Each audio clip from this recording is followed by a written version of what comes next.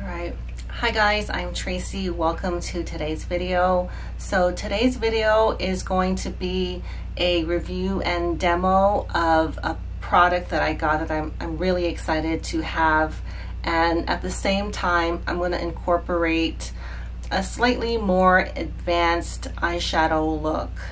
Now, I'm no um, makeup artist, so when I say advanced, I just mean a little bit harder. This is not going to be something that you need a ton of skill for. But I also did want to showcase some of my newer brushes that you guys may or may not be as familiar with because they tend to be a little less used versus the you know the standard um, round goat hair blending brushes. I'm not going to be using these today. I am going to be using brushes such as these and these are all um, squirrel hair brushes. And at the same time I'm going to be doing a review of a new product that I got. Not new just new to me. The Suqqu quad. And this was on sale at Selfridges for a very good price. And I've been meaning to try uh, Selfridges um, Suqqu quad for a long time. And so when I saw this go on sale I thought it was a great opportunity to try one of their eyeshadow palettes. And I have to say, I, I used this yesterday and I've been very impressed with the looks I've got or the look I got.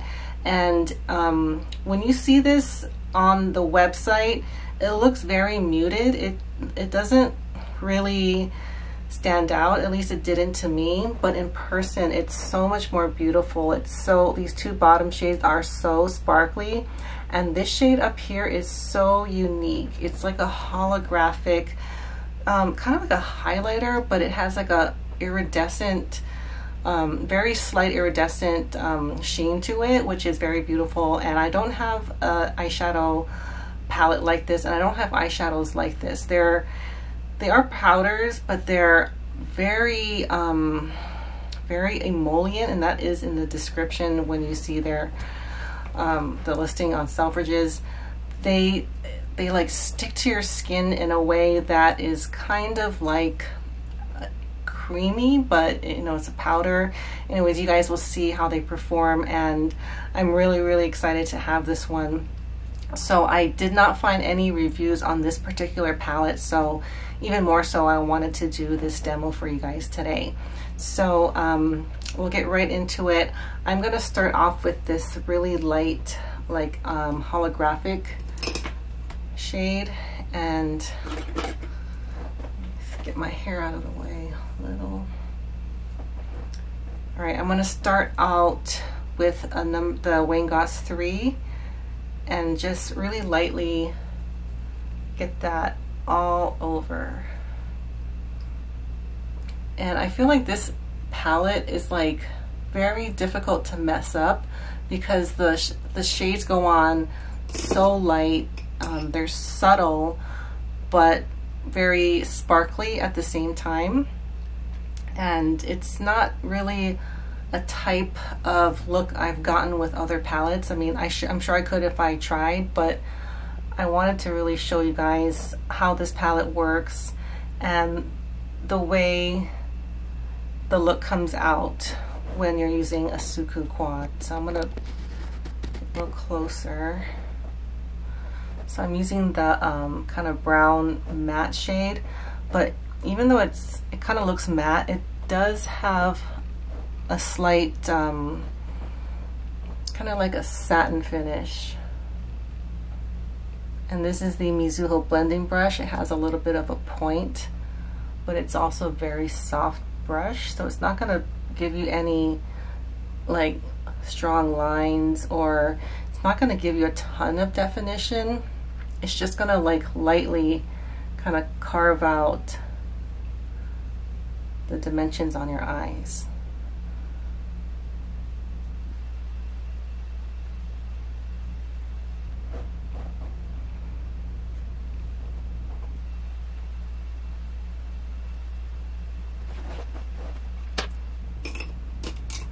Now I'm going to use the um, Chikuhodo Z10 just to lightly use this shade on the lower lash line.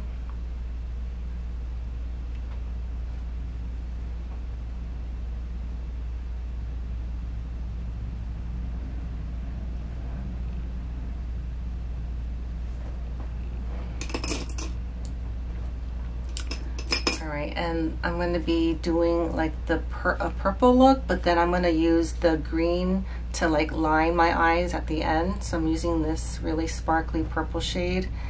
And this is really, really beautiful color. I kind of was trying to compare it to the Pat McGrath shades. And if if I had to compare the Suqqu shimmers to anything, I would say it's more like Pat McGrath, less like Viseart, but Pat McGrath um, shimmers have more impact. They have um, more shine. The glitters are more reflective. This is more like um, like the the shimmers are more like sprinkled. It gives a very just like a more natural shimmer look.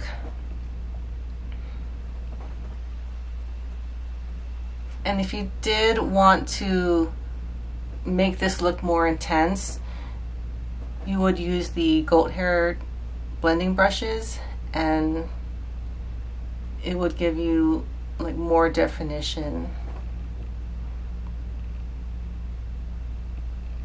So for this, the first um, coat of shimmer, I use like a light, a slightly bigger packing brush. This is the um, Hakuhodo G5523, which I just got in my last haul. And I really, really like it. It's so soft. It It's probably, you know, the softest uh, eye brush I have along with a couple of other ones. And it just, um, I can't really, I know I've described it with the, the Chikuhodo GSN 9. It's similar, similar to that in that it kind of disperses the shimmer. It doesn't concentrate it where you put the brush. It kind of like disperses, if um, that makes sense.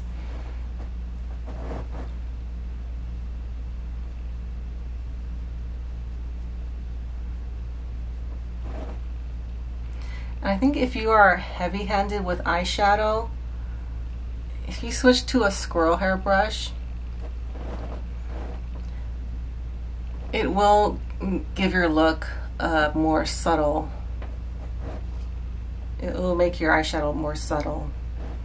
So that's kind of the majority of my the um, the eyelid, and then I'm going to use uh, one of these packing brushes to put that really light shade like in the inside.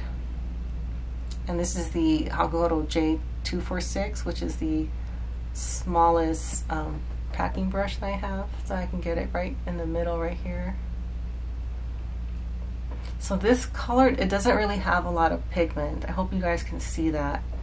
It's just like a holographic, kind of like those highlighters that don't have a lot of color. It just kind of sparkles. That's what this shade reminds me of.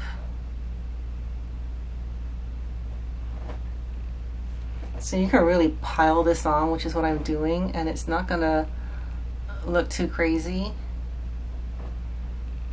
So I think this, this palette is very beginner friendly. So if you're just, if you're, you're still kind of learning how to do your eyeshadow, I think this is a really great palette because it's kind of hard to mess up. You know, you have to, well, one downside, you really have to build up the shades to make it you know, make it visible.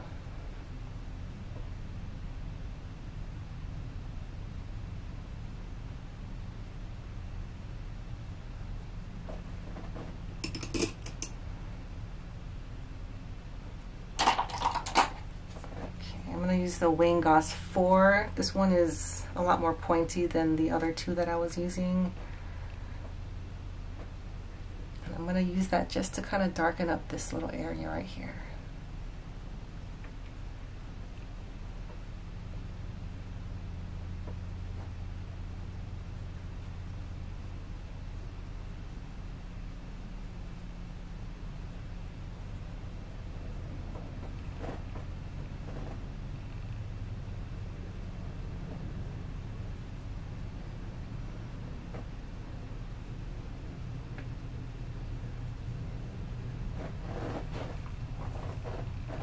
So that's the majority of the look and then I'm going to just use, um, because these shades are so subtle, if you really want to darken up your lash line, you're going to have to use a pretty firm uh, pencil brush. And for that, I really like the Wayne Goss number five, which I know you can't get anymore.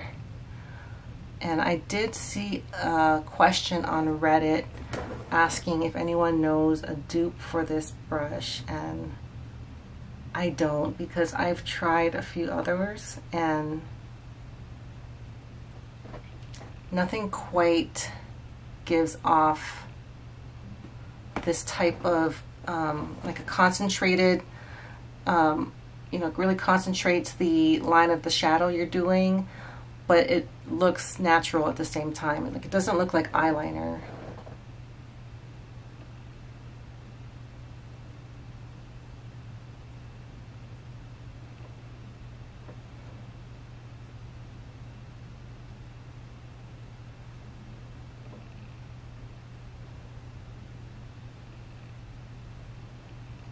So what's really uh, unique about these Suqqu quads is they mix colors. If you guys are familiar with the different quads, um, not not all of them, but a lot of them mix different colors. So unlike uh, Charlotte Tilbury quad where all of the shades kind of like match each other, you know, you're going to get a purple look or a pink look or a blue look or something. Suqqu mixes it up so I have a purple and a green and a lot of times they'll put like a blue and a yellow. I, I know one like that.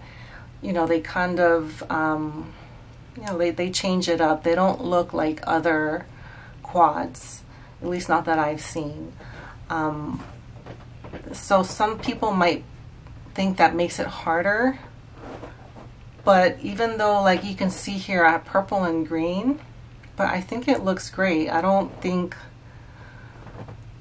you know, there's something about whoever put this together, I think made sure that even though the colors don't look complementary, once you get them on the eye, they actually look really pretty. So I hope I'm showing you guys that with this tutorial. And, you know, considering how sparkly these shades are, I see very little fallout. I have a little, try to get it off without messing up my, I see a little right here.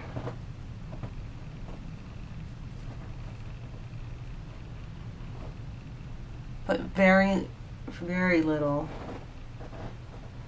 And it's kind of a pet peeve of mine because my the fallout often for me it just like sticks to my skin. Okay and then I'm gonna finish my eyes a little later off camera. And just because we're doing the whole um, Suqqu thing I'm also gonna show the um, blush that I have. This is the first Suqqu product that I got. And this is kind of what started my deep interest in the brand. I really like that there's two shades here um, this is supposed to be like, I guess kind of highlighter-ish, but it, it really doesn't translate like a highlighter. This palette is, leans more matte, but if you wanted to give it, you know, if you wanted to have a little bit more sheen, you can do that too. Um, I don't know if I should use this Bisyodo or the, the Hakuhodo. They're kind of similar. Um, just because I want to get to know this brush more, I'm going to use this. And this is how I do it. I kind of like do like that. And I kind of let the colors mix as I put the blush on. And like the eyeshadow quad, this blush is very hard to mess up. One downside is if you are, if you have like a deeper complexion, this might not show up on you because on me it's it's very subtle. It can be built up. But I think it's meant to have that kind of like water color, kind of like your, your skin is stained. I feel like it has that kind of finish, which is different from my other blush formulas. So I hope you guys can see what I'm talking about.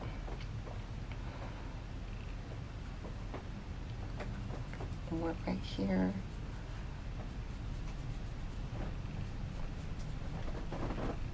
Okay. All right, and then off camera, I'm gonna do my mascara and a little bit of bronzer. Nothing new, and I'll be right back. All right, so here's the finished look. I hope you guys enjoyed the video and the tutorial. I'll give you guys a little closer look at the eyeshadow. All right, that's all for today. Thank you for watching. See you all next time. Bye.